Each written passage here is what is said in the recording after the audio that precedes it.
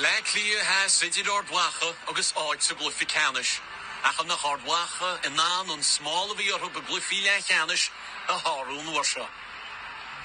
We had gone for three or four years to Croke Park and failed to come away uh, with a result. So, you know, I think going into that game, we did believe that this was the day to put things right. This was the first opportunity I had of playing an All-Ireland semi-final since the Kerry debacle two years beforehand. I remember thinking to myself after 10 minutes, I'm not really getting under the ball here.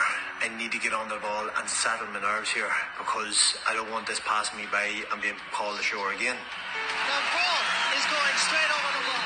Both teams were weighing each other up, scoping each other out. It Didn't really kick into life until early in the second half. Chance for Omar. Chance for Paddy McKeever. When Dublin scored the goal after we scored the goal, Chance for the goal. Oh, what a shot. Under normal circumstances we would have folded, but not that day. Confronted by Paul Casey. McConville, great run. Uses the fist and sends it over the bar. Armagh just got momentum in the in the crucial period, and we had the chance. Obviously, the Ray Cosgrove free. And I come down to the last kick of the game, Ray Cosgrove. Does this go to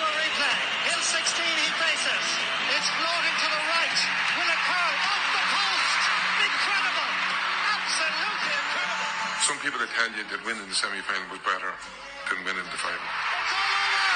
Because the fact that we tried for three or four years and couldn't get there, and then all of a sudden we were in the final, which was unbelievable.